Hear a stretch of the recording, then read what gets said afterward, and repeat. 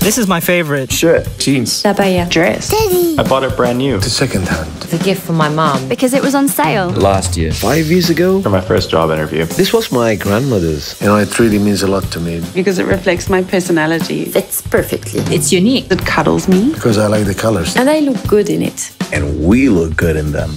Send us the stories of your favorite items of clothing, and you could win the new LG washing machine with AI DD. Wear, love, more.